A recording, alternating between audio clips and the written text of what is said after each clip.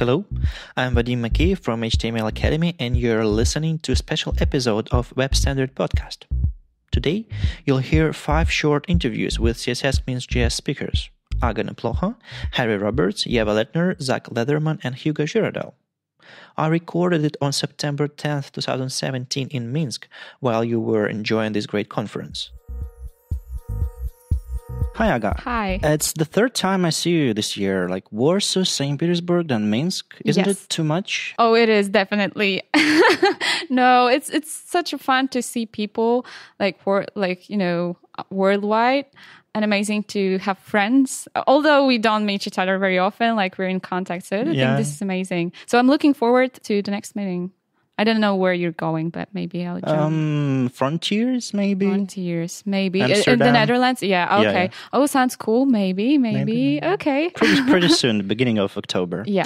Well, of course, I'm kidding. I'm glad you're here. And um, tell a bit more about yourself. Like, uh, we know, but what's your name? Like Warsaw, Adobe, what else? Uh, Yeah, what's your community projects? What's your Okay. favorite things? I yeah, don't know. so one year and a half ago, uh, me and my friend we decided to do the community work. So um, we just created the organization called The Awwwesomes. So we organize coding workshops for beginners, um, also meetups for designers and developers, and it's such a fun. And I think that this is something that um, gives me energy for like daily work from five to nine work. So it's something that where I can share my passion, but also get a lot of energy from people. So I think this is crucial. And uh, why why this project? You decided to share your knowledge, or you thought that you, you need more professionals in the in this area, or like um, like there's a need for developers? Yeah, in like Warsaw? we, we felt that there's a niche that there are many JS meetups.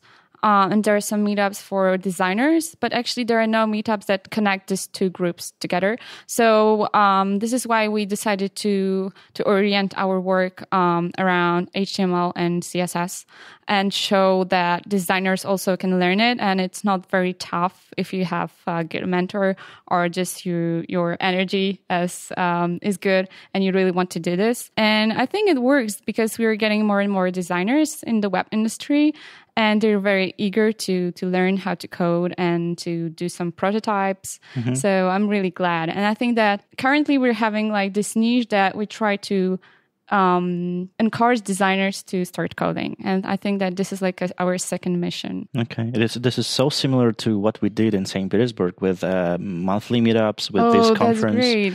And uh, but we, we chose much boring name like just a city and technology. it's still very cool. The city is cool so like the name Okay, is thanks. cool as well. So And well, I can I can understand the part of uh, with uh, meetups when you when you go and you share your thoughts or your, your experience or like telling about new technologies. But for workshops, uh, how does it work and what you do there? Like we have something similar, Code Mm-hmm. uh, Node School in St. Petersburg, but of course it's uh, Node.js and Yeah. JavaScript oriented. I wonder. Uh, if there's anything similar in Europe, I heard there's a CSS classes in Berlin. Yeah, th- there are CSS classes in Berlin. I, I there's also um, there's CSS JS workshops in Budapest. I know that Flaky is is doing that. Um, so in, in Warsaw, we do have this HTML and CSS workshops. So it means that uh, we uh, meet every week, once a week.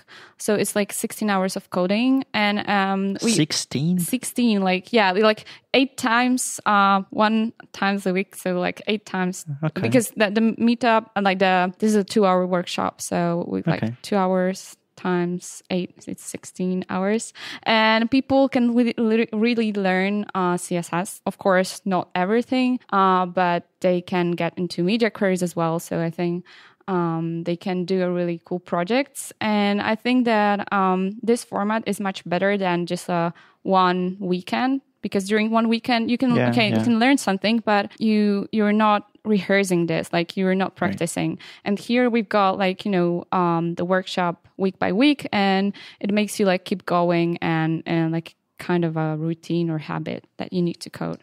So i really like it. And you can get new friends because you you Yeah. you see these people once a week so yeah. Personally, I hate hackathons. Where you Yeah, when there's a when there's a like short period of time and you're trying to make uh, something out of it and you're usually not satisfied with what you've done and exactly and you're very tired and Yeah. like yeah and, and sometimes even it's cool like you you have a great team it only it's only for a weekend so it's like not continuing and yeah i think that having something in the long term is much more valuable. So you're also build, building community. Yeah i think so. Yeah it, we That's were cool. growing so this is cool. Yeah. Um, in a couple hours, you're going to present your breaking the norm with CSS talk. Um, Why do you think it's important? So you made the, whole way from Warsaw. Well, it's not that far away from here, but, but, st- still, but still, yeah. yeah so I, I think it's good to like i think that on many conferences uh, around css and js there are many talks regarding the code. Um, but there's i think that there's there's still lacking like kind of design talk. Um, because as i said i think that we should bring designers and developers near one table and to start discussing with each other. Um, so this is why I decided to break the norm of the conference and break the norms in CSS to show that actually you, you can like coding, but you can like designing and you can combine this. Um, and I would like to show some CSS features that people probably have heard about, but maybe they're not very familiar with or they haven't used them already in the production code. So yeah, I hope that will, they will join my talk. like breaking the norm, breaking, the the conference, like breaking the law. Yeah, being rebel. That's cool. yeah, web rebel. How would you define yourself? Are you a designer who code or a coder who design? Like it, it, it sounds ridiculous. Doesn't make sense at all. But Yeah, I know. I know. There's the moment when I need to define my, when I need to define myself, and I think that for now I feel more more like a designer uh, because I I have to admit that I'm sometimes lost when I talk with my friends who are developers and they're talking React Angular, and I'm not very into this. So at this, you know, at that time I feel that like maybe I'm more into designing, doing UX research rather than um, exploring React or Angular. Um, so yeah, so I think that designer who code this is the my title. okay, but but from from what side have you started? Well, actually both. So this is why this is even more difficult because I I just wanted to create a website and from the very beginning I was very oriented like into aesthetics and art and everything Right. connected with what is visual. So I, you know, needed to learn how to use Photoshop. Um, but at that time I was using Paint, PaintShop Pro. Um, yeah, it was fun. Whatever it is, never, never never heard of it.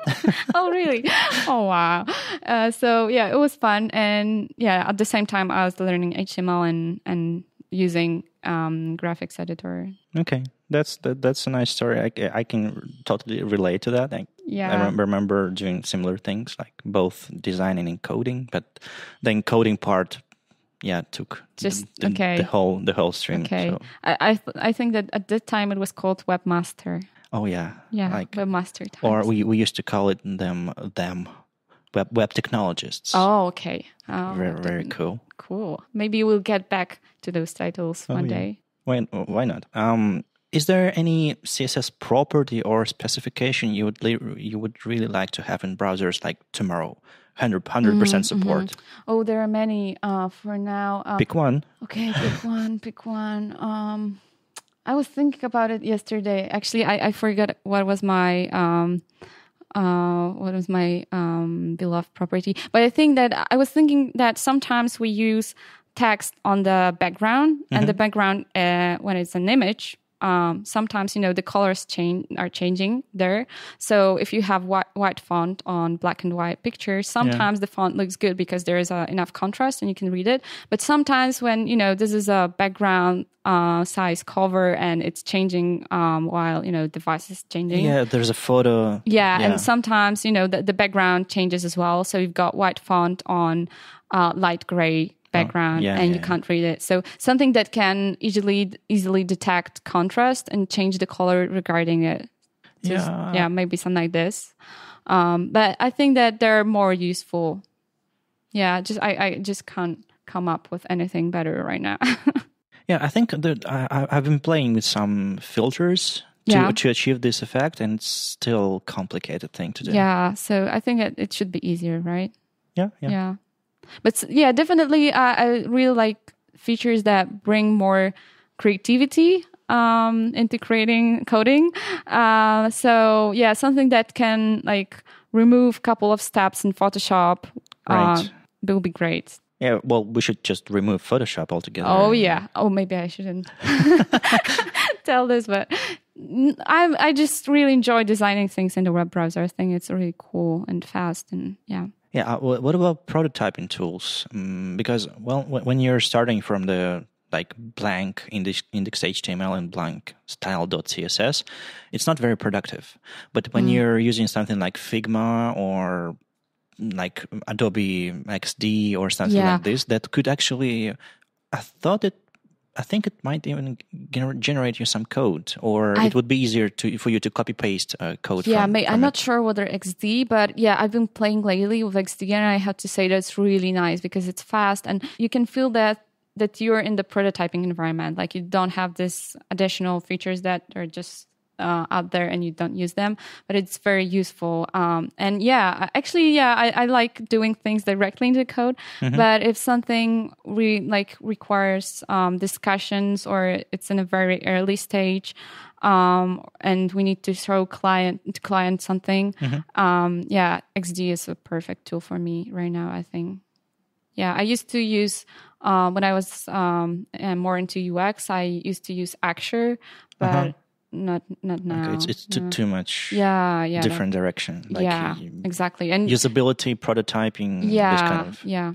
I agree. Uh, but maybe there is a third way uh, if we could move uh, graphic editors like Adobe XD towards um, um, CSS properties that we actually use. Yeah. So they will use the same naming, they say the same ideas. Yes, it would be great, and it would be easier as well for for designers to get into the yeah. The because uh, sometimes it's like drop shadow, sometimes it's box shadow, sometimes yes. it's like. And yeah, oh, and by the way, talking about CSS, sometimes when I have like a um like a pause or like a break from coding, and I'm getting back, and I need to set col- font size and color. It uh-huh. always like I'm always mixing like is it font color? No, no, it's color. It's like why it's color and here we got yeah, font yeah, size. So yeah, sometimes it's messy, but um. And the, the last question um I'm gonna ask it to everyone today um do you know any technology or open source project uh, created in Russian or Eastern, Eastern, European community, like the famous one that are widely known in, in the world? Mm. Oh, of course, BEM. BEM. Yeah, okay. yeah. This is the first one that, that came my mind, came to my mind. Uh, regarding communities, Vadim knows it really well. yeah, yeah. I heard about many communities in um, in Russia. Yeah, in, in PiterCSS, for instance. Um, oh yeah. So yeah, yeah, yeah. But yeah, BEM is the first one, I think. Okay. And it's I think it's popular like everywhere. So yeah. Cool. Uh, I, I, have a list of projects, I, like for for example, but I'm not I'm, I'm not gonna tell you now. Oh, mm, okay. I'm waiting. no, I'm, I'm just trying to. Um, to understand if it's worth for us to break this uh, language barrier between yeah. our communities. Yeah, definitely. So thank you for coming. Thank you. Bye bye. Пока. Hello, Harry. Glad to finally meet you in person. Uh, I've seen you many times speaking from Dublin to like Warsaw, everywhere. Like you're pretty active speaker. Yeah, you could say that. You could say that. And um, how did your talk go today? Like, was it was it um, successful? Was it uh, well received? Absolutely. Yeah, the talk. Um, I guess I finished like an hour ago. I suppose uh, went really well. It's um, it's interesting. Every I think every culture is quite different. So um, what I found today with the talk is the little exercise at the start where I get people to put their hands up. People seem a little shy to do that. But then straight after the talk finished, there was people like queuing around me asking questions. So it seems like quite an active crowd. Also, we've got to remember that it is Sunday morning. Oh yeah. So people uh, people fresh out of bed. But no, the talk went really well. Um, really enjoyed giving it. It's um, it's a topic I'm really passionate about as well. So I, I enjoy giving the talk, and hopefully, I mean, I'm the least important person in that room, but hopefully everyone else enjoyed the talk as well. It seemed like they did. Okay, um, tell tell us a bit more about yourself. Like uh, we know that you're running this CSS Wizardry blog, and you're like you're a freelancer. Um, but uh, what's your daily jobs? Like your mm, your most famous open source project, or maybe just things you're proud of? Well, so my my day to day job is I don't really have one. Um, because it depends what I need to do at, at what time. So it could either be admin. So this morning I put a day in the calendar next week I've got one day of work just dedicated to receipts and invoices and paperwork. Oh, I've been, so, been, been there. Yeah. Yeah. So you know the frustrations, right? So there's all like the regular day to day life kind of stuff. Um, but aside from that, I I'm involved in open source, but it's one of those things where open source because as you also said, I, I work for myself. So open source doesn't really put any uh, doesn't put any food on the table. So it's one of those things where I end up creating an open source project, starting an open source project. And then it's one of the first things to get deprioritized because I've got client things I need to work on. I need to go to a conference.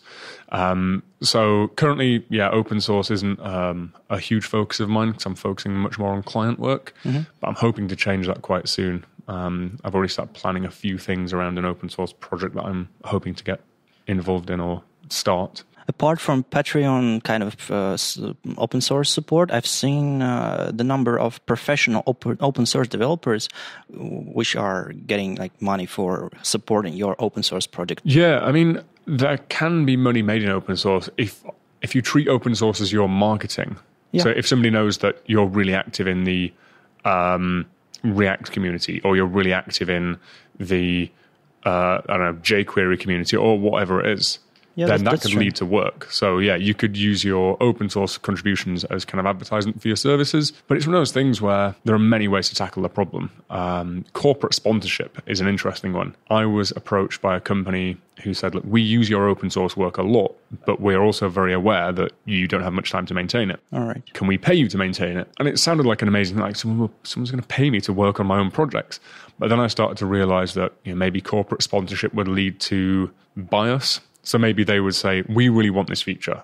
And the open source community might think, well, it's not a good idea. And the company is saying, well, we're paying for this, so we want you to put it in, or we'll stop paying you.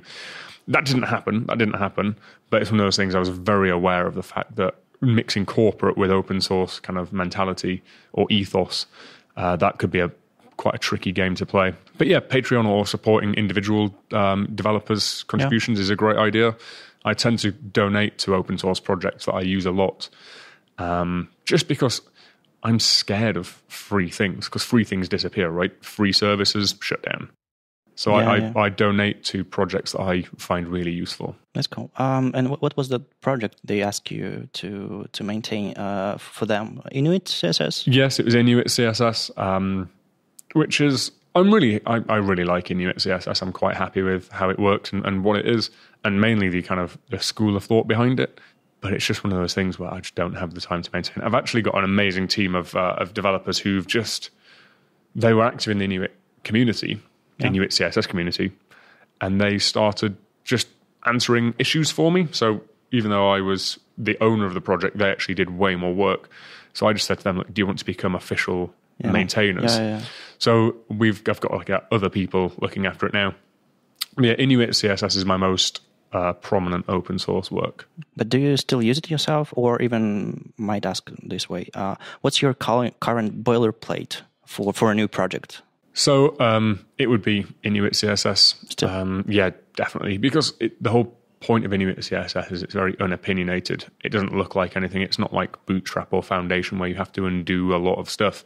Um, however, saying that, I started a project for a new client recently who they needed things custom enough that what I did is I took a like a fork of Inuit CSS. Right. So what what it is is it's basically their code base doesn't include Inuit CSS as a dependency. I basically just copied and pasted it and tweaked it completely to their specification. Uh-huh. So their project is technically built on Inuit CSS, but it's a it's a fork of Inuit. But we have this uh, crazy thing like, like we we have to rewrite our front end every six weeks or something like this. Uh, have you? Like I think you're using this project in this stack like Sass and Inuit and, and everything like for, for years now. Like, uh, have you considered changing it to something like Post CSS plugin pack or like vanilla CSS? I don't know. I haven't yet. I'm of the opinion that um, if something works well, then try and use it for as long as possible. So um, with Inuit CSS and, and Sass specifically, mm-hmm. it's one of those things where Sass is really well supported, very well documented. Uh, the community is enormous. If you need to recruit a new developer, they're more likely to know Sass than Post CSS. But I do think post CSS is incredible. So what I normally recommend is uh, transition over, maybe have some middleware, um, absolutely start using post CSS. Maybe you've got a new part of the project or you want to experiment with new things. Mm-hmm. So basically, well, it's not microservices, but it's kind of the idea of building out different parts of the application in technology you, you either want to experiment with. Because that means you can means you don't have to rewrite the entire application. And what it also means is, let's say you've got a project and you start a task to build a sub project, and you think, okay, with with this sub project, instead of Angular, let's use React, and instead of Sass, let's use Post CSS. If the React and Post CSS thing goes really well, it means you've got a very good case study that you can use to then reverse engineer onto the rest of the project. So it's basically a way of testing out a new technology on a very small, safe project and then saying, cool, that went really well. Uh, let's start refactoring the old stuff onto this. Uh, so it just gives you a little that, that small amount of experimentation. I guess you're spending more time doing actual clients projects instead of refactoring your boilerplate. Exactly. Yeah, that's a good point. Yeah, yeah. I get to um, I get to either join projects right at the beginning when it's greenfield and there's no like we can just decide whatever we want to do, or I will go in when it's a big refactoring task, uh, which is usually the scariest.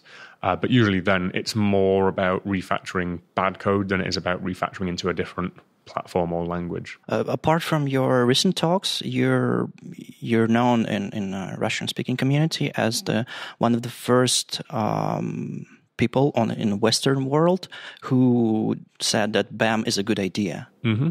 and uh, tried to interpret it somehow.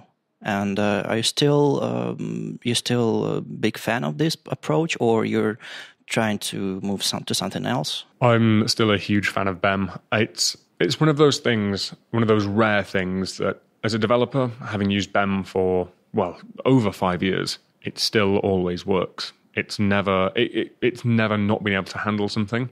So you have certain methodologies that you think, okay, that's a good idea if these other three things are correct, or we can use that if we make sure we use this.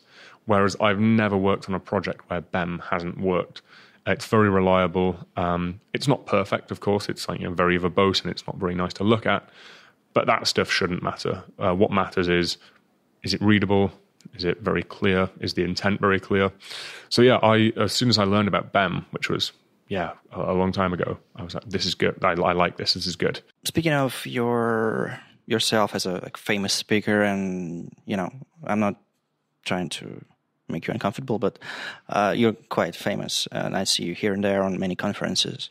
Um, did speaking, uh, did this public um, thing help you with your open source projects, with, with your client work, with uh, to become who you are right now? Was it was it important? Would you recommend it to developers to start speaking on conferences? Absolutely, yes. I mean, I think the single most important thing for me was actually blogging mm-hmm. because um, my my domain is ten years old this year, so I've had a blog for like ten years, and it was that blog that got me noticed by Front Trends.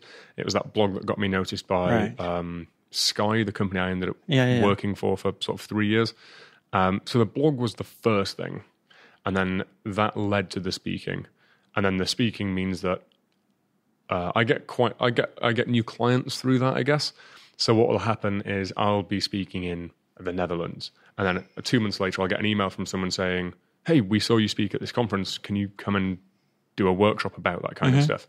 So I would really recommend it. I'd say start with blogging because blogging is easier because you don't. Well, it, to used do... to be a thing ten years ago, but now with social networks and yeah. like blogs are not that powerful and, and yeah popular. Well, I think maybe vid- video blogging. maybe I still think I still think that for technical things, blogs are the kind of correct answer because they're more they're more search friendly, right? So what will happen is someone yeah. will Google. Um, BEM syntax, and you're way more likely to get an article as a result than you are to get a video, of course, or, or a tweet. So blogs have a little more longevity, which means that think about timeless articles like uh, Ethan Marcotte's responsive yeah, web design, yeah. things like that. I mean, that was six, seven years ago, maybe. It was a long time ago. I'm getting old. But things like that, I think blogs can be really powerful because um, they're more discoverable it's harder to discover a video blog, I think, because they're just not as Yeah, they're just not as discoverable. So I still think um, blogs are really important because you don't know who's reading. So it could be your next um, manager, like the company that ends up hiring you, could read your blog and think, "Oh wow, she really knows loads about React. Let's see if she wants to interview for our company." Or one of my favorite clients, um, I won't name them, but they're great. They're a really nice company in the UK. Very, very, very huge company, actually. Uh, I got an email from them. And when I saw the emails from, I was like, oh, wow, it's so exciting. Like, this is one of the biggest companies, uh, certainly in Europe. And when I asked, like, how did you end up finding out about my me? And, and it turns out the head of digital had uh, Googled something, found the answer on my site, and he left that tab open for about three weeks. You know, when you do that, you leave a tab open Yeah, thinking, yeah, oh, I'll read that one soon, so I won't close it. Apparently, he did that for about three weeks. And then finally, he, he got round to the tab and he was like, this is what we need. Right. So he sent me an email immediately saying, look, can you, it was on a Friday afternoon and he emailed me saying, can you come down to London on Monday morning and help us doing this stuff? And that was because of a blog. So yeah, blogging and speaking definitely help um, people get noticed. Uh, I, I say blogging is easier just because you don't have to do blogging in front of an audience. Yeah, You don't have to travel anywhere. You could write a blog from your bedroom.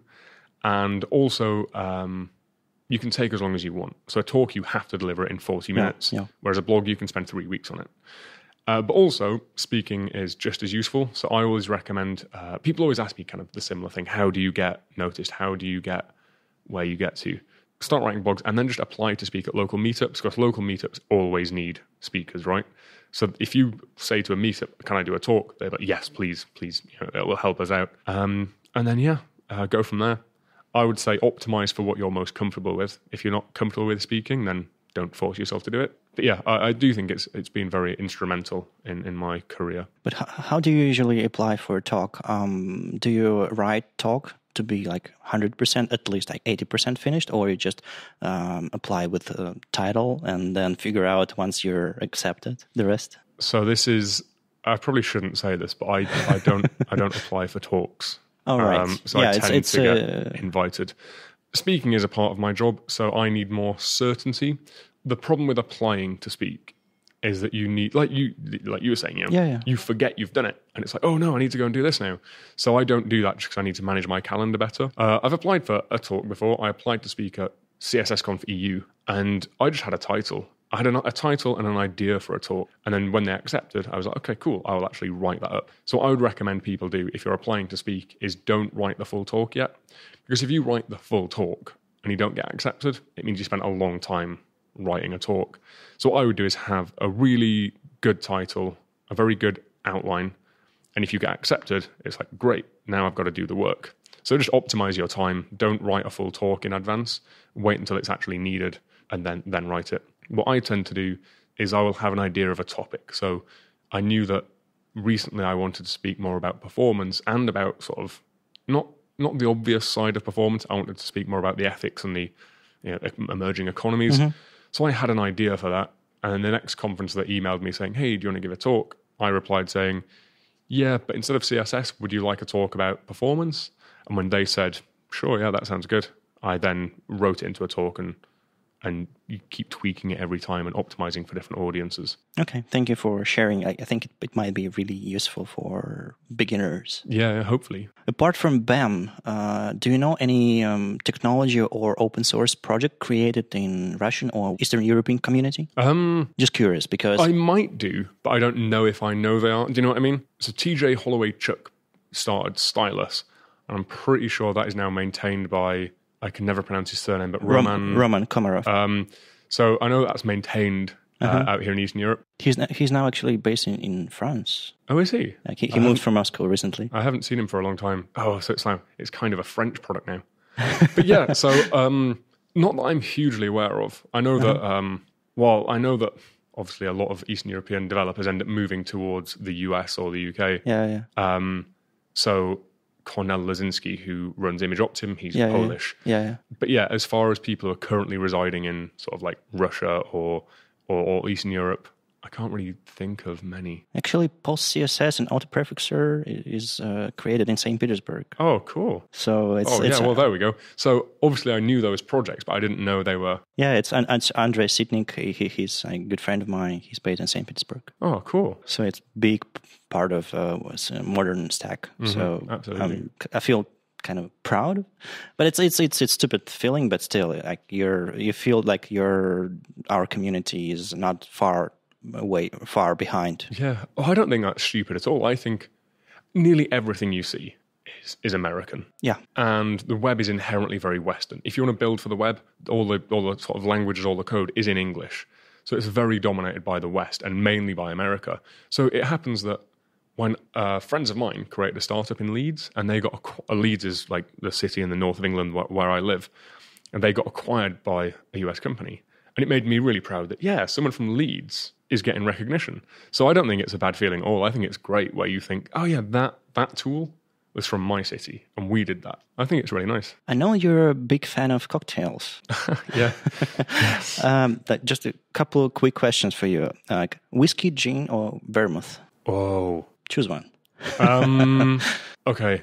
If I had to choose one, I would choose gin, but only because it's the most versatile. So you can make great classic cocktails with gin. You can make modern cocktails. A gin and tonic is a like a great thing to have on like a warm day. Uh, so gin, just because it's versatile. So it's like a strategic answer. I could drink more gin than I can drink vermouth. That's true. And uh, another one: uh, sweet, sour, or bitter? Oh, um, bitter, definitely bitter. So things like Fernet Branca, um, anything with Fernet in there is, is a huge favorite.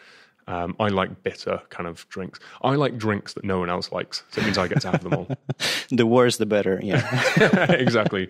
Yeah, yeah. Uh, a lot of friends drink the kind of drinks I like. And they're like, oh my, how can you drink that? Like Campari, for example, Oh, yeah, is yeah. one of my favorite drinks of all time.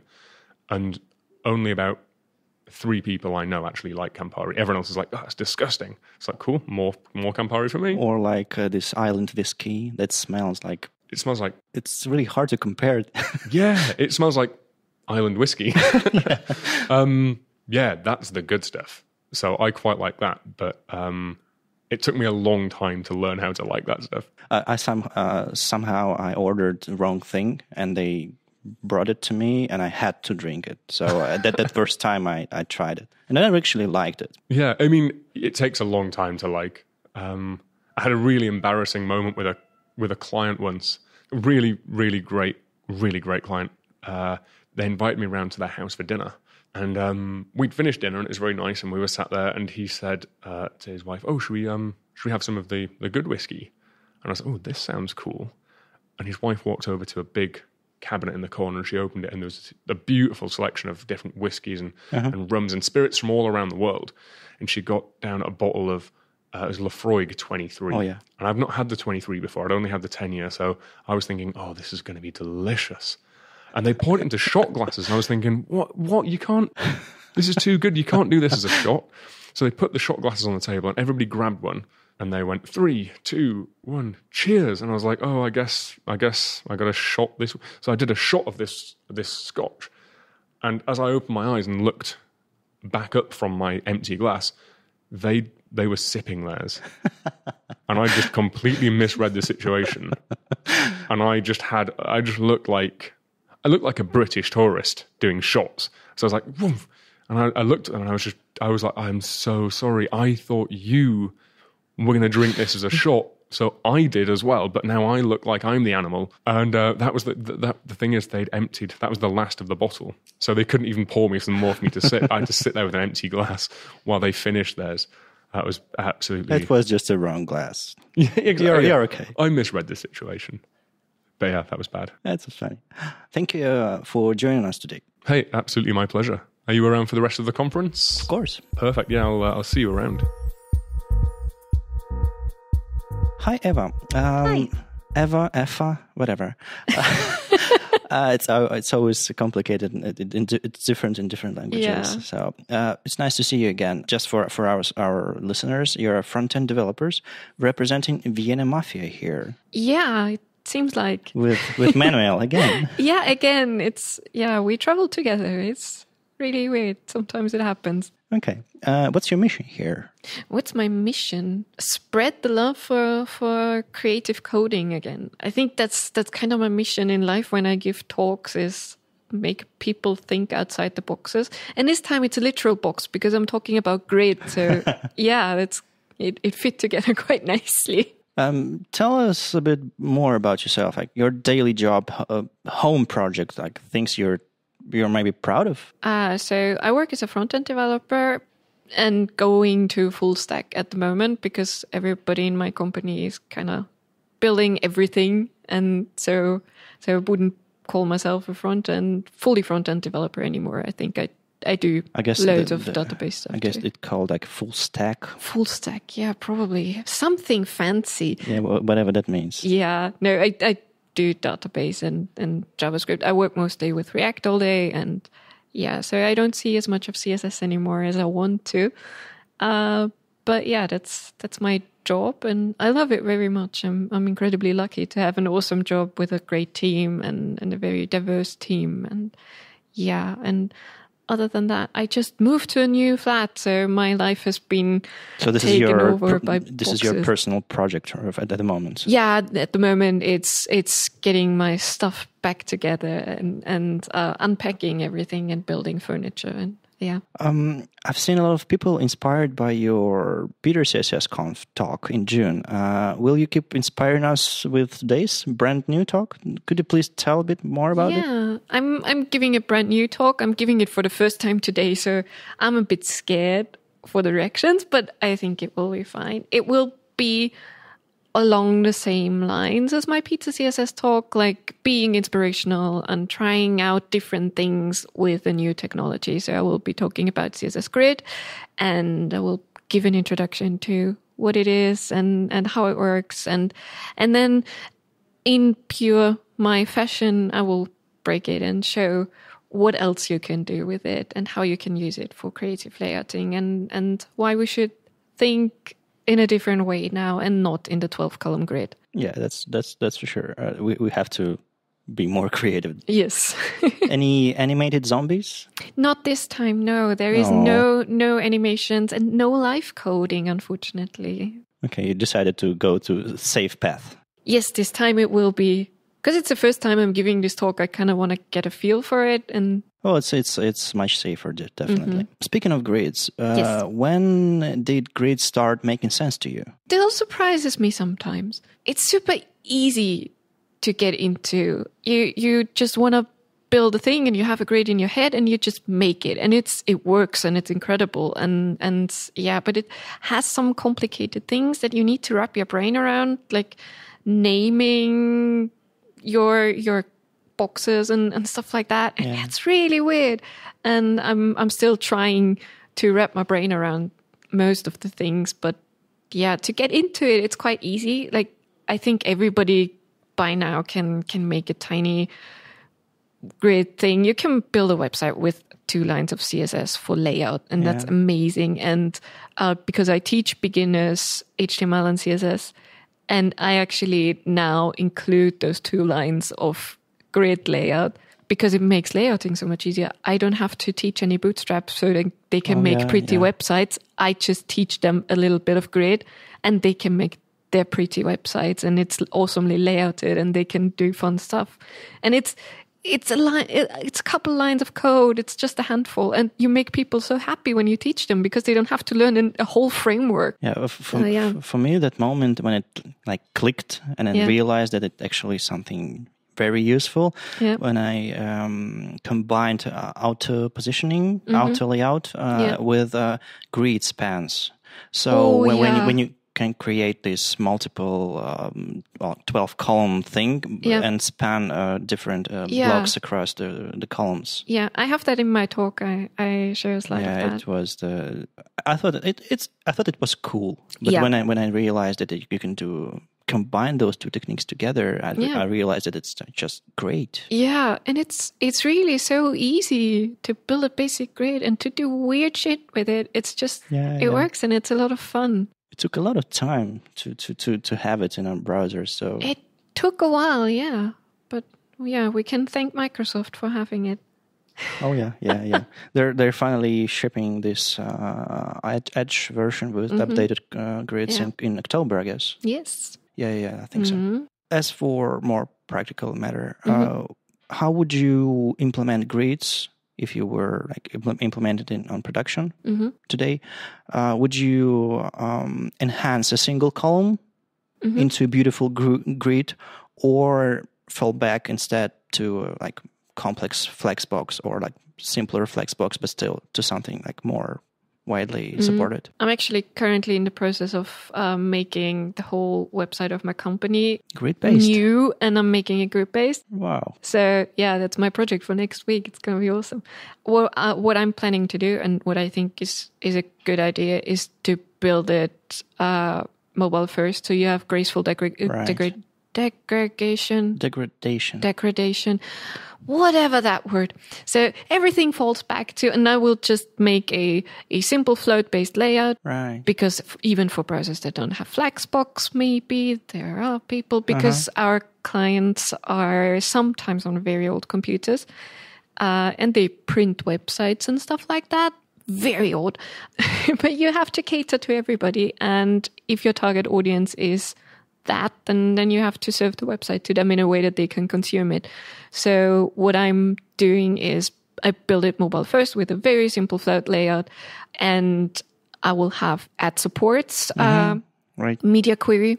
Not, that's not a media query. A, a Well, uh, declaration. block yeah, or the- whatever. the- yeah, the- edge rule. under you can add add supports and then grid, and under that I will just add my grid layout and make it fancy and cool. I, I think I will fall back on a float rather than a flexbox. Well, it's it make, Yeah. totally makes sense. But I, I hear people say uh, these days when, when we talk about grid, when Mm-hmm. when post some news about it, that it's it's too complicated to write two two parallel layout systems. Mm-hmm. Like it's might, might might be true for Flexbox, but for floats, you're just float left, float right, Mm-hmm. Yeah. and everything is ready. Yeah. So it probably makes sense. Uh, but I would love to see the actual product like, because Mm-hmm. there's there's nothing there, there's no big projects uh, in Wild uh, Mm-hmm. Yeah. using Grid uh, as, Yeah. as their main layout technique. Mm-hmm. I've seen some footer links Yeah. arrangements and like really tiny experiments like uh, here and there i Mm. Yeah. like new york times like the, used the single property from grid layout hooray Mm. Yeah. but nothing nothing big enough Yeah. real enough Yeah, unfortunately, our designers didn't make a super cool, awesome grid layout because that's also a problem. We developers know about grid and that we can do cool things with it. But many of the developers are not designers, and the designers are, in some cases, not developers and they don't know about grid. They still live in the bootstrap world because we developers told them all right please design in the 12 column grid. And now they do that. It's now our job as developers to tell the designers, please stop the 12 column grid and do whatever you please because we can now do it. well uh, to me a 12 column layout is still flexible enough to Yeah. Do like almost anything you want and it I, it's it's so good because Yeah. Mm. you, you can have like thirds, fourths, and like halves and Yeah. everything. So it's I think that's why it's so popular. Yeah. But still, it sometimes it's limiting. I've had to build calendars in Bootstrap. All right, That's a seven column grid. all right. Yeah. We need t- twelve uh, day week. That's that will solve all yeah. problems. And after a week of trying to find a solution that would work good, I found a hack that that made my custom grid in in Bootstrap, but it was horrible. It was really bad, and I hated it. Do you think we need a bootstrap based on grid layout, or because like developers so used to use classes on HTML Mm. Yeah. to build their grids, and sometimes it it's easier probably instead Mm. of uh, going to CSS, you're already there in HTML, and you can I don't know try something new. Yeah, but didn't we all learn about the separation of concerns? Well, we With- have single page applications with Yeah. everything's mixed. So I know, and it's kind of old fashioned thing. yeah. But for me, still, the markup is the markup. That's the elements that are on the page, and the design is in the CSS, and that's how I feel it should be. But I grew up like that. I, I learned that, and we don't really need a framework for Grid because Grid is its own framework. To quote Rachel Andrew. Um, So we don't need to have Bootstrap with great integration, really. What Bootstrap is amazing at, and, and I don't hate Bootstrap, but what it's very good at is building something quickly, like Yeah. having a nice quick demo, building a template for just trying stuff out so that it looks pretty. Like when you code a new functionality and you want to show your shareholders, you don't have to have the whole design implemented. You just do it on Bootstrap and it takes 15 minutes and you show them and it's fine.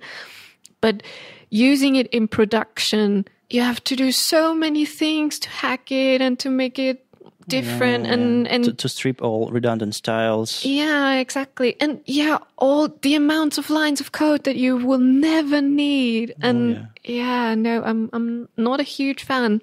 Yeah, I I don't think we really need that. I think some people will never get rid of Bootstrap or other CSS frameworks because they're so used to them and they like the classes thing.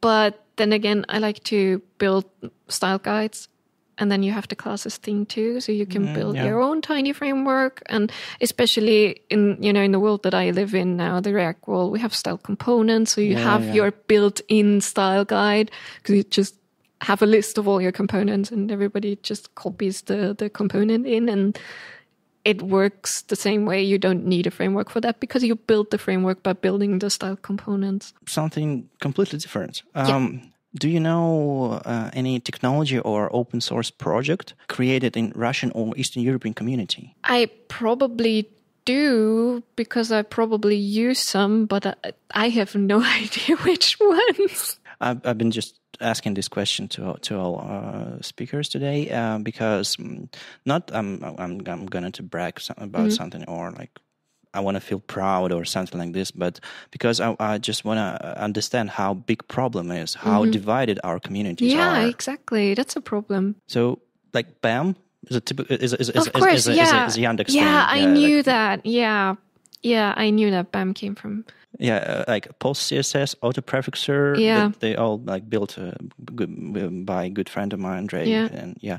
So yeah, I guess we need some work to do in this area Of course. to yeah. to promote promote uh, it not by just third hands like some third party people, but Yeah. but ourselves. Yeah, exactly. And that's why I love coming here. It's it's a great community and and Belarus is it's the feeling here is very similar to when we were in St. Petersburg. It's just it's a very nice community and interested people. And yeah, it's it's super cool being here and and like I don't feel like I'm bringing the Western knowledge because it's that stupid. But Yeah, yeah, I like to share what what I've been working on, and I like to learn what you guys have been working on, and and it's it's a lot of fun to exchange that. And I know it's a it's also a language problem because we come here with English because that's apparently the language Yeah, of the web, and and not realizing that it's not nobody has not everybody has the same access Yeah, to yeah. English that we do. So we are kind of spoiled with, especially in Austria, where we learn English at five years old or something sometimes. So Well, I guess we will remember the t- 2017 for the first two English speaking conferences, Yeah. like St. Petersburg, Minsk. yeah, and, I've been at both. Y- yeah, so you'll be remembered for that. oh, thank you for coming here today. Thank you so much. It was so nice talking to you again. and good luck with your talk. Thank you. Hi, Zach. Um, I never thought I would see you speaking in Minsk. Uh, to be honest, like, saying, thank you so much for coming here. And um, Yeah, thank you for having me. This is great. and I'm a, a bit surprised. I always thought that your skin color is green. yeah, I've had a long tradition of uh, green tinted avatars in my social media. So uh, I've just carried that forth. Every time I change my picture, it's always a green tint just to maintain some continuity. Yeah, yeah. Um, so I, don't know if it's a good idea or not, but I, I, I hate when people change their photos, and Yeah. it's it's really hard to, to, to figure out who's that new person in my timeline. right. The photo is uh, how you identify people. Yeah, yeah. Visual learners identify But by your photo. but now you uh, have a special way of changing changing photo, but still keeping the same. Right. Yeah. I don't know if it, I, I don't think I'm the first person to do it, but Okay. I don't remember why I started doing it. I just like the color green, I guess. I don't know. Yeah, I, what I did, I just created some nonsense logo like ten years ago. and Ah, I- okay. and I still use it everywhere. Nice. So it's it's like it's it's my personal brand. Ah, okay. Yeah. I would yeah, say. I like uh I like using my photo just to I don't know, get my face out there and have people recognize me maybe yeah when I go to conferences, but I don't know how effective that is. But well, speaking of you, um, could you please tell something about yourself? Like you're famous in Russian community for font, font loading, performance kind of things. What, what else do you have in your life? Uh, oh, just personal wise? uh, personal, professional. Where do you? What what company you work for? Oh, sure. What what you do? What's your like favorite? Uh, what what the most popular open source project you manage or Sure. Uh, so I work for a company called Filament Group. We're based out of Boston, but we're fully remote. I think it's five five people full time and one part time person. Um, so very small. Uh, we're a consultancy, but so we well, do well known. Yeah, we do uh, a lot of uh, performance consulting and uh, design work for various companies. Um, so, yeah, it's a very good company to work for, for sure. Uh, primarily because they value work life balance. Um, so, we don't work a, a lot of overtime. We get uh, a lot of good family time. Um, so, it's a very uh, effective company for sure because we put in our hours, we work hard, um, and then we go home. So, it's a great job for sure. So, uh, if you're if you're having problems with uh, font loading or something like this, uh, at least in our community, we go read article by Zach or Bram. Right. Yeah. Is, is, is, your, is it is he your colleague as well? Uh, Uh, Bram and I don't work together professionally. We have reviewed blog posts that each other have written. Um, so I would consider him a friend, even though I've never met him in real life. really? But we've chatted online, yeah, quite a bit. I, I, I follow both of you on Twitter and uh, see how you're chatting like you're like best friends. yeah. We're very kindred spirits in that we study uh, the very s- same specialization. Right. Uh, he works for Adobe Typekit, so Oh, his is uh, right. his uh, professional job is maybe more relevant to font loading and, and things of that nature. So, um, but we we are very kindred spirits for sure. That's that's interesting. Uh, I, I always thought you were colleagues. Uh, no, uh, just good friends. Okay, that's good, good. virtual friends. Sometimes it's even better. yeah, yeah, yeah, yeah. yeah, It's good. Okay. Uh, did you know how your name so- would sound in Russian? Uh, no, I have no idea. You're Zach. Yeah. Like full version is gotta be Zachary. Yep, correct. Yeah. Yeah, but we have a very similar name in Russian, Zahar. Okay. So in, your second name uh, is could be easily converted to Russian, like like not tr- even tr- translated. So it would be Zahar Kozhevnikov. Oh wow. So That's, uh, there's a I won't even attempt to pronounce yeah. that. Well, I- I'll write. I- I'll write it down to, for you in Cyrillic and Latin, so Oh, great, you would yeah. know because it's you could use uh, your like nickname. Yeah, I wish don't you would have. Uh, maybe I'll have time to work that into my slides before I speak this afternoon. When I was a kid, my uncle used to call me uh, Zakaruski. Zakaruski. I don't know if that has any. Uh, It doesn't make sense at all, but No? I, I, know, Okay. I, I know what it what what it means. Like Ah, it might it might well it's just just just just a joke, but Yeah, it's it's, sure. it's it's funny. yeah, I didn't think it meant anything, but yeah. Um, thanks to you, I learned a number of uh, very weird abbreviations like FOUT, FOIT, and even even FOFT. Foft, yeah. Is there anything else? So all of those were sort of channeled from the original, which was the Flash of Unstyled Content, Yeah, which is yeah. FOUC. FOUC. FOUC. Yeah, yeah, yeah. And I think more people are familiar with that. And uh, so the name's all branched from that original one, and that's more tied to just how ba- basic CSS loads and blocks rendering and all of that. Um, and so font loading sort of borrowed those terms and reappropriated them or whatever. Um, so I don't know. You should you should invent the, the fourth. Definitely.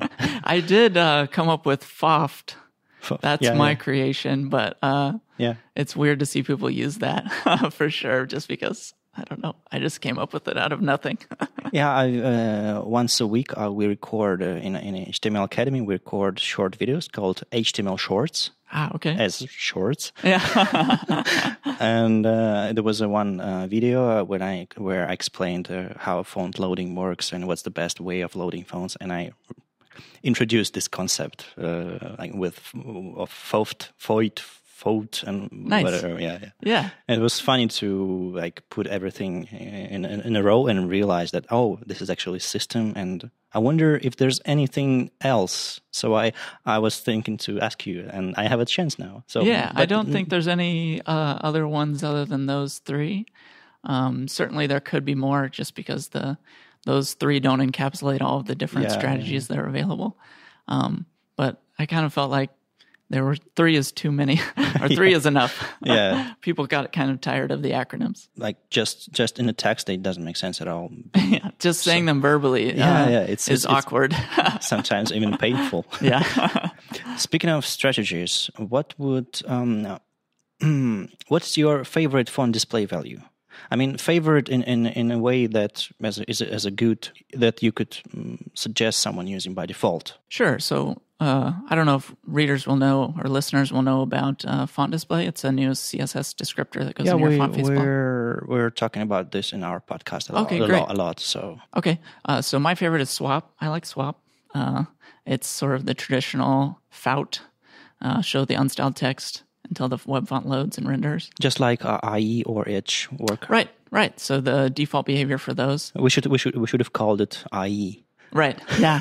Uh, I yeah. I don't know if other browsers would have adopted that strategy if it had been known as the Edge IE approach, but they've actually had that since uh, 1997, Oh. uh, which will be in my uh, talk uh, shortly in a in an hour or so.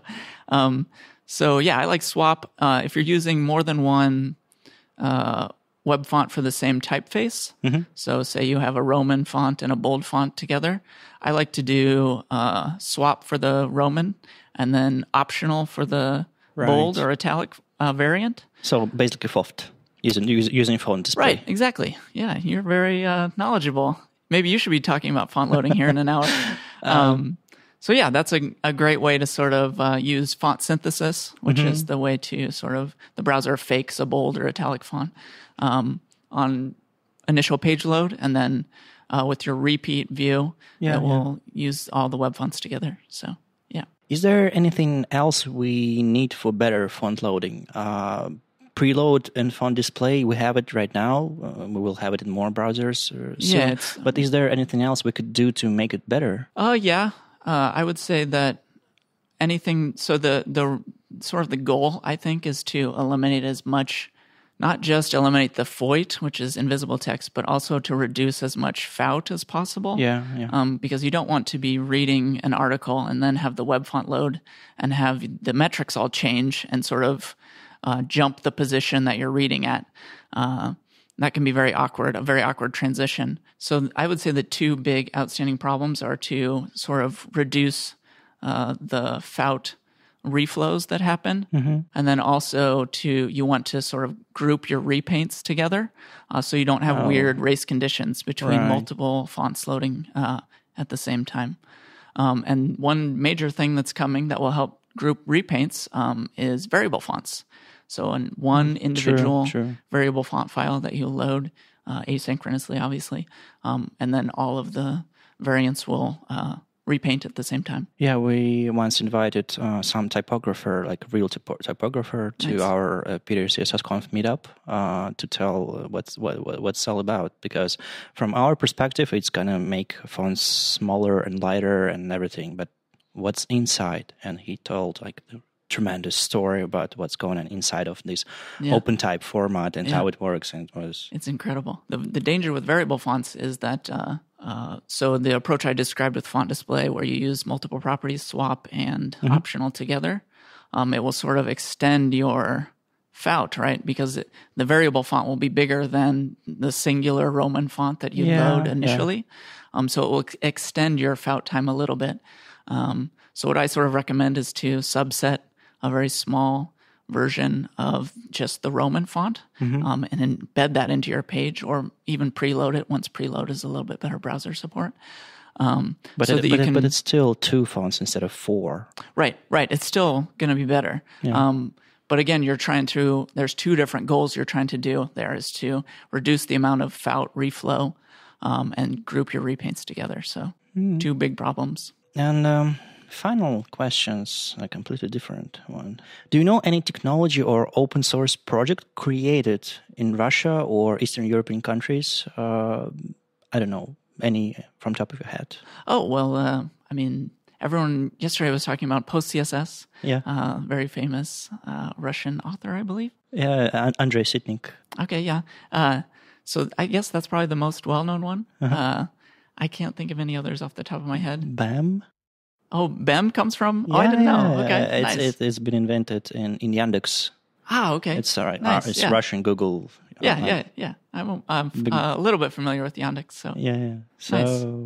yeah, I've been- I've been just trying to understand how how how big is how how big problem is between uh, how is- isolated our community Ah, from from the rest of the world. Yeah. because we have a lot of uh, smart people in it, and Yeah, we, we absolutely. we it's really hard for us to share our, our ideas. Yeah, I kind of see a, a smaller parallel between um, because I run Nebraska JS, which is a meetup in the middle of the United States, and Mm-hmm. we're kind of isolated from both coasts. All right, So we don't have a ton of people living in our area, um, but just flying above your head from coast to coast. Right, they call it the flyover state. Um, but we kind of have a similar problem where we're a little bit isolated from the sort of the bigger development hubs.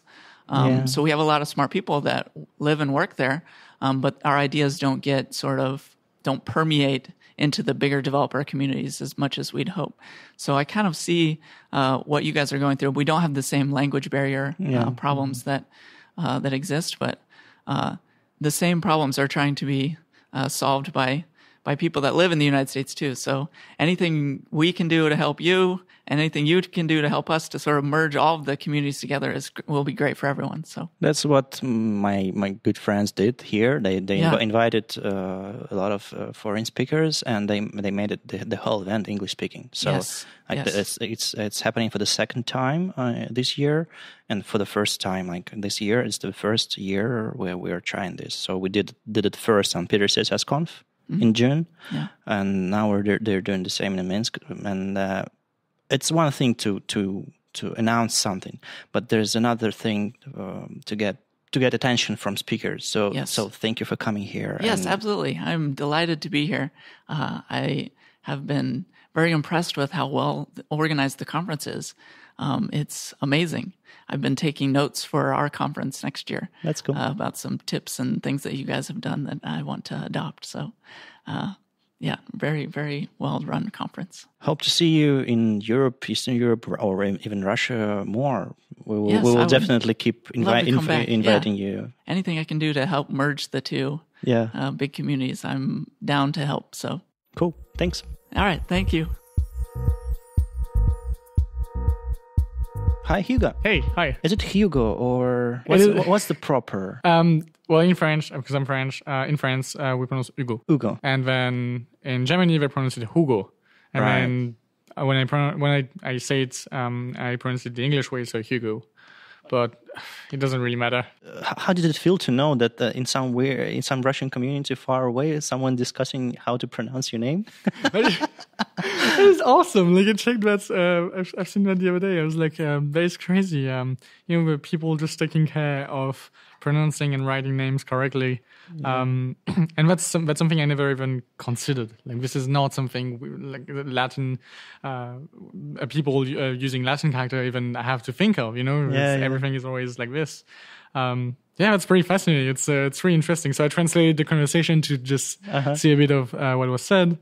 Um, and I know some of the contributors to this con- to, to this con- ah, conversation. Sorry. So it was uh, yeah, it was it was a lot of fun. It's very Yeah, nice. we, we, we started this dictionary repository to Yeah. just um, uh, collect everything we do in one place. Uh, we, we, we translate a lot, English articles mostly to, to Russian, so we need uh, the same ter- uh, the same names for, the, yeah. for, Yeah. for the same things.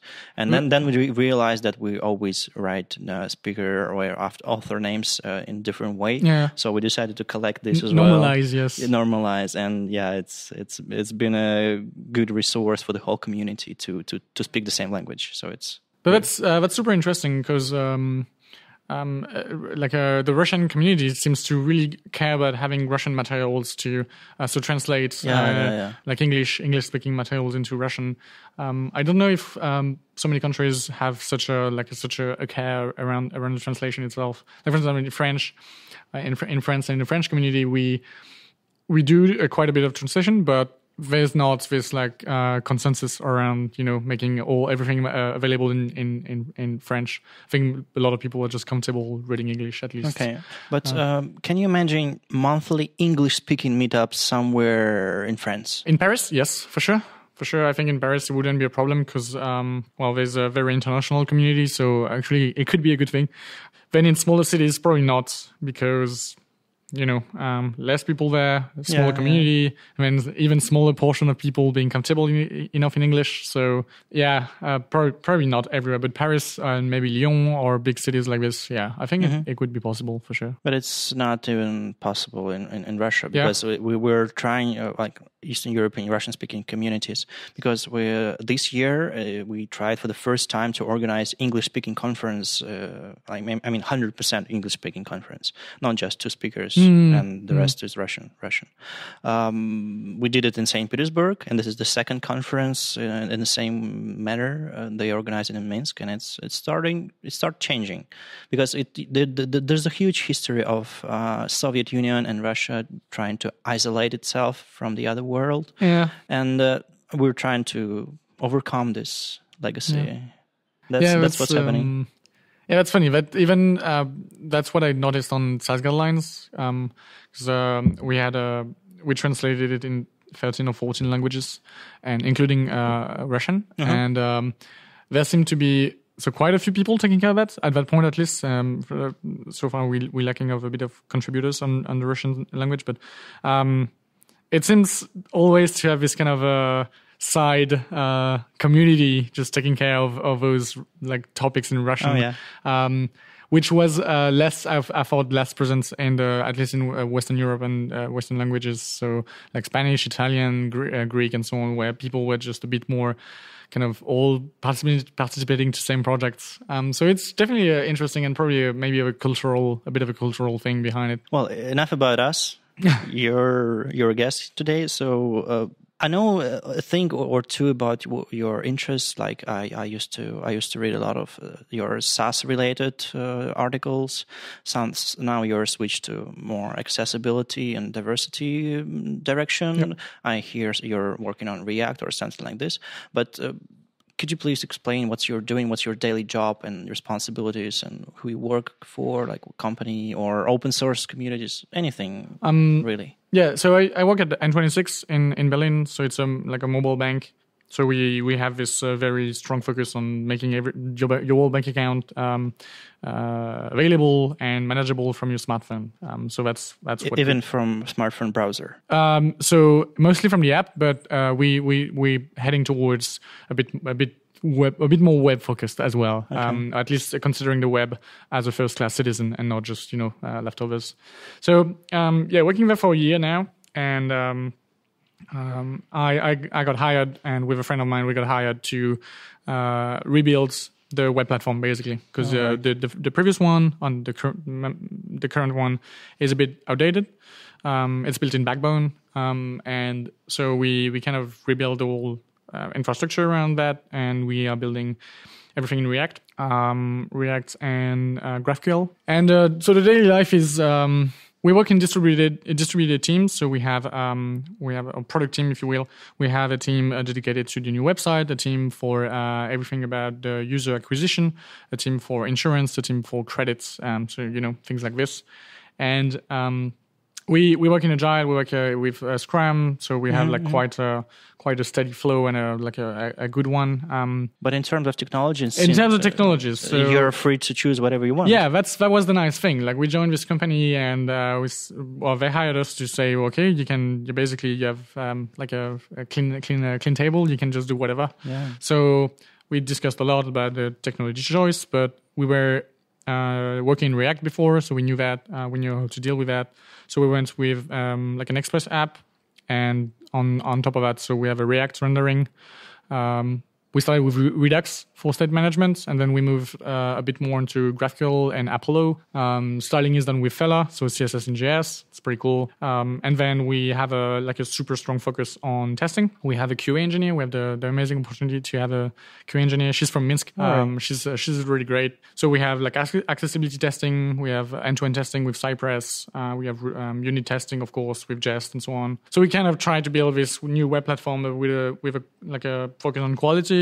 Yeah, basically making it robust so it can last a decade or you know, uh, and not being having to be rebuilt in two years because it's falling apart. But uh, it mostly React and CSS.js for you now. But Yeah. uh, how do you feel about writing those weird uh, functions that do a lot of weird things in Sass, like you used Oh, to, like like uh-huh. you used to?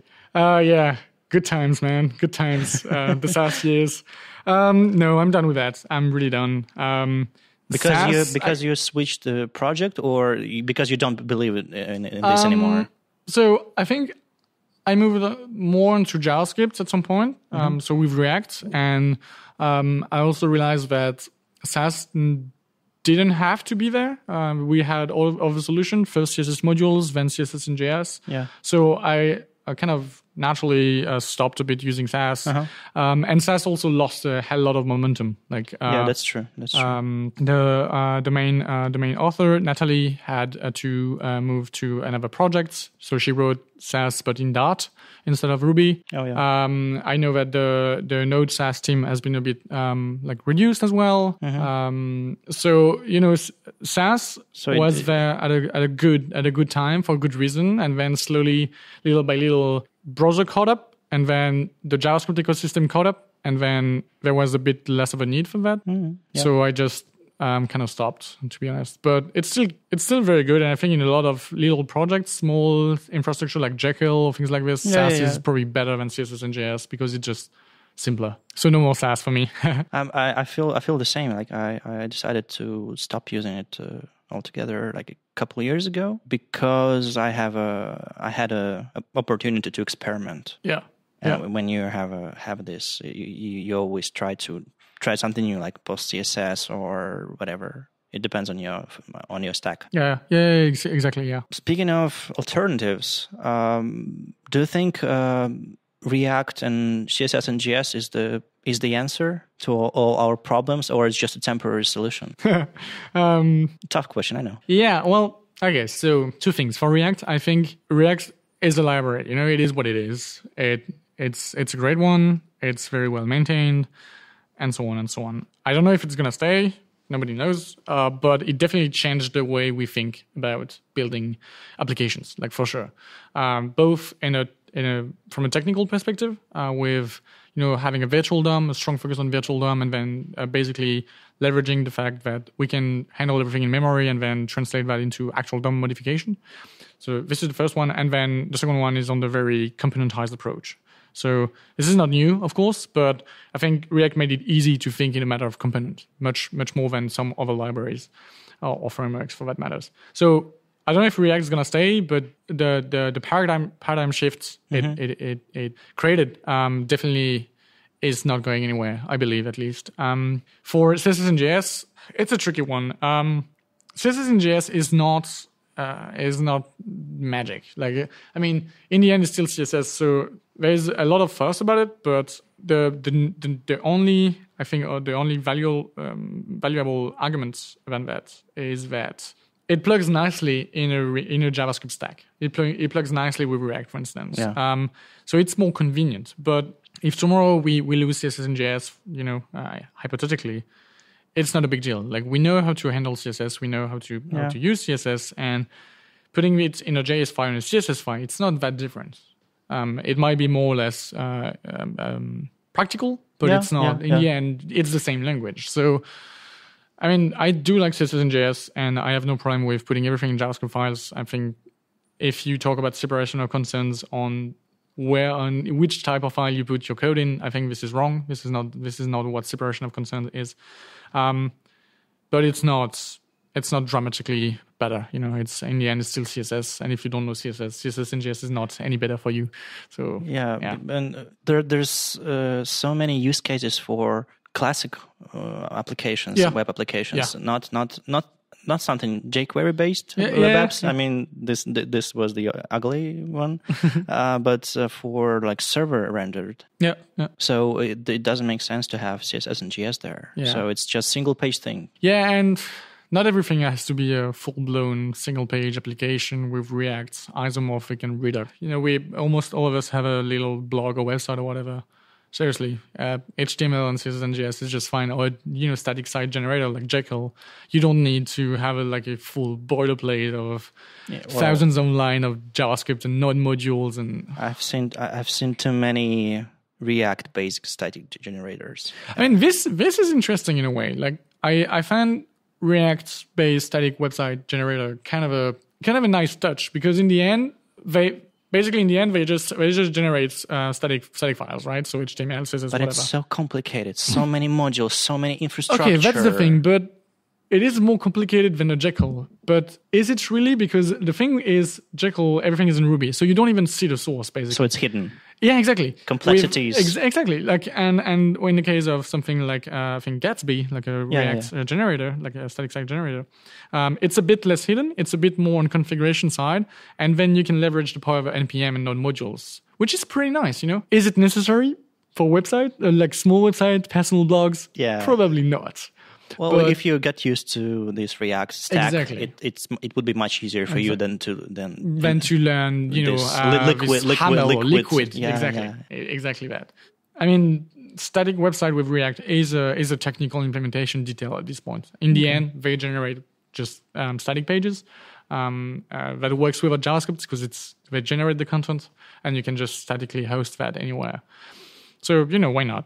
Um, this is it's interesting. I work for a small company in St. Petersburg, Russia. It's called uh, HTML Academy. We teach students some basic HTML, CSS, and JavaScript, and uh, some advanced JavaScript. But we don't. We're not planning to teach them like Angular, React, or Vue or whatever, because we're we think uh, it, mm, everything is changing so fast, so it will be become redundant. Uh, so it, you have uh, like a lot of nice videos explaining like React 15 but it's already 17 so what you're supposed to do do you think it's worth for young developers for beginners to learn some specific um, um, things apart from basic web platform technologies Well, that's a tricky one uh, because when you start working in the real world, you're not gonna just handle the fundamentals. You know, you like nobody's having website in HTML, CSS, and JavaScript pure like vanilla Yeah, anymore.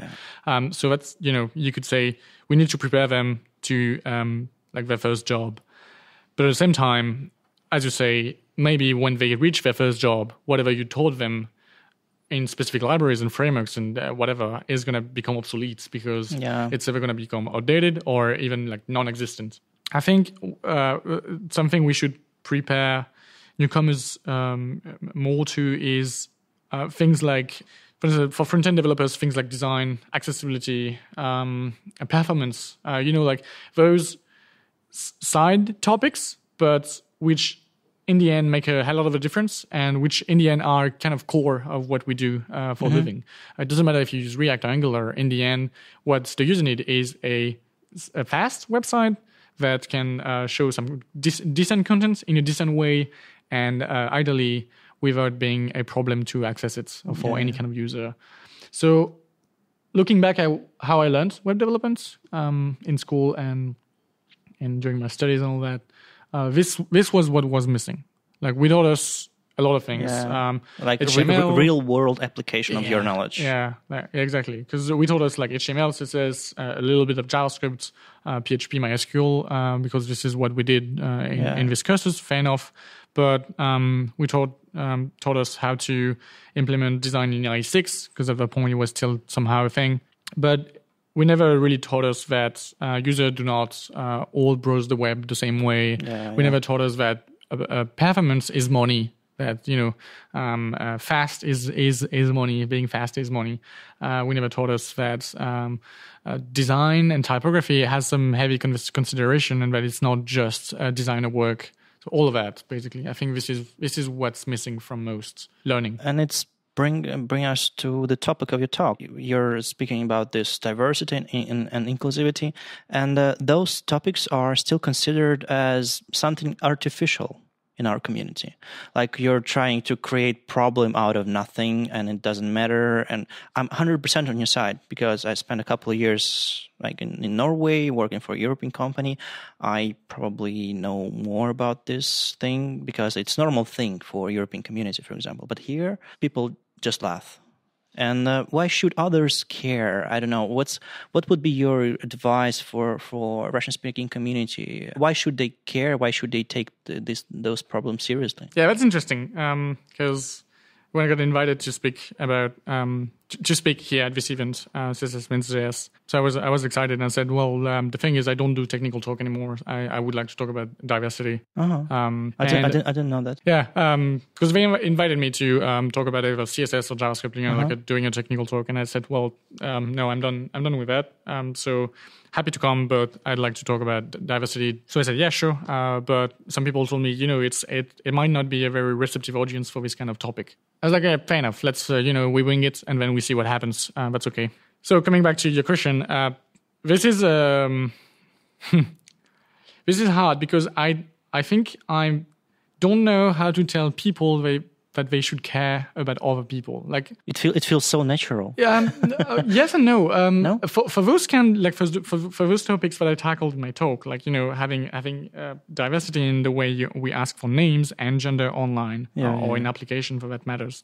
Um, I do understand that until you you face a problem yourself with this kind of thing, it is hard to empathize and to yeah. to even to understand.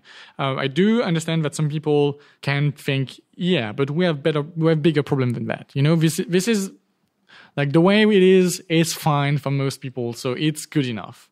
For sure, it is. Like, yeah, in most cases, um, first name, last name is fine, and binary system for gender is fine. Um, I, I mean, at some point, you gotta ask yourself if being fine is just what you want to aim for, or if you want to build a good product, a good user experience, an inclusive one. Um, but I do realize it's it's very hard to uh, really care about that if you're not really impacted by that. Yeah, I don't have an answer for that. Why would you care? Because that's um, you know being a good human being, I guess, and and that's that's what I try to underline in my talk. You don't you don't have to understand. Like there's there are many things um, we we just go with, but we don't necessarily fully understand them. We don't have to understand why some people prefer uh, acting like this or behaving like this or identifying uh, themselves like this or naming themselves uh, like that. We don't we don't have to understand that to respect that. Like, um, we can just you know roll with the fact that people are different and then say, okay, it's a tiny wee bit more work, but at least people can use that. People can just go with it. Um, the same way people can think, yeah, we have bigger problem than that. I can also reply, you have bigger battle to fight than those. So just go with it. Make the little ex- extra step to make everybody happy with your platform. Yeah.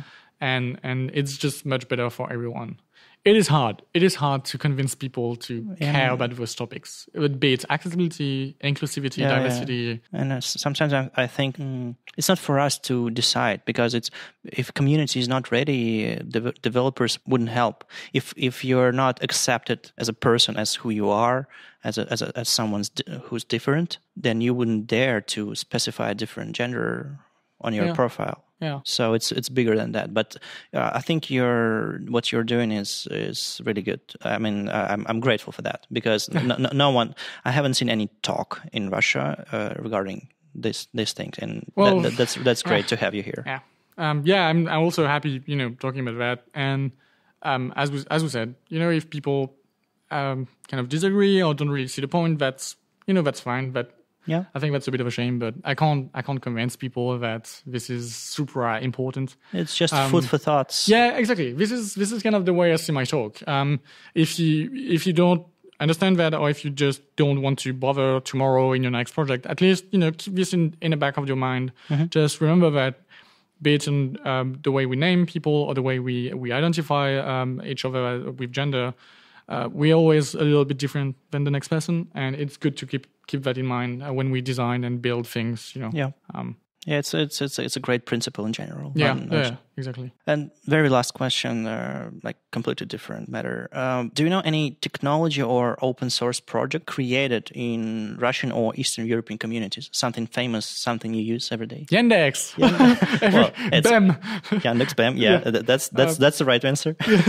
That is that is hard. That comes back to what I was saying a bit earlier. I feel like those communities are so disconnected in a way. that's why that's why I'm asking um, to, to to check if it's true, uh, and it's it seems it, I mean, is. I've seen contribution from Russian speakers uh, on on some uh, topics, uh, mostly on documentation. Um, like Sass guidelines was was Mm-hmm. Yeah, an, exam- yeah. an example uh, with a tr- uh, Russian translation. Um, simplified JavaScript jargon as well as Yeah, yeah, yeah. SJSJ uh, with a Russian translation as well. Uh, but I I can't say I've seen. Um, or used, for that matters, um, Russian-speaking projects right away. But they they usually not Russian speaking. They they're rather uh, created for someone who identify it himself. That's that was a rather rather question about community. PostCSS or the prefixer. True, very true. I Like, and and it's funny because um, I do know, uh, I, I, I know at least you know I've seen on Twitter and I've Andrey. uh, yeah, and and um, and some other um, excellent, like fantastic Russian or uh, uh, Russian Russian speaking people um, doing a hell lot for the, the community, JavaScript and the CSS and so on. It's just um, yeah, but you know, for, at the same way, I could not tell you a Spain a Spanish uh, Yeah, yeah, yeah. topic either or our, library. But yeah, but um, but partially this question related to how open we are as a community, and uh, this conference makes makes it easier for us to to hear each other, to understand each other. So I'm just just thank you for coming here and, and Yeah. bringing us community closer. Yeah, I'm also very happy to just you know come here and have a kind of bridging the gap with the Russian speaking yeah. community. Um, it's it's super nice. Um, it's it's very different from what I'm I'm also used to on a daily basis. Uh, but I think it's you know it's it's not any better or, or worse. It's just nice to connect and see how we can how we can work together towards a better web. I'll be glad to see you again somewhere. Likewise, likewise, it would be a pleasure. thank you. Thank you very much. This is it. I'm Vadim Makeev from HTML Academy, and you were listening to a special episode of Web Standard Podcast. Don't worry, we'll keep releasing our reg- regular news episodes every Monday in Russian, but tell us if you like this one, and we might try to record something similar in the future. Bye!